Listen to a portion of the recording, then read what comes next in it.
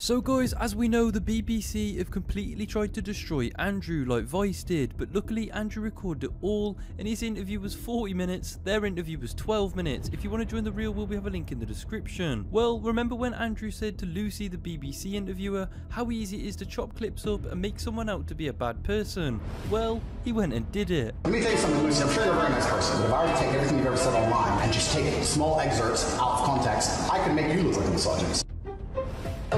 Intimate parts belong to her male partner. If she goes on own, he is entitled to a cut of her income. If a woman comes home and accuses you of cheating, you should hit her with a because if you have responsibility for someone like a child or a dog, you have authority over them.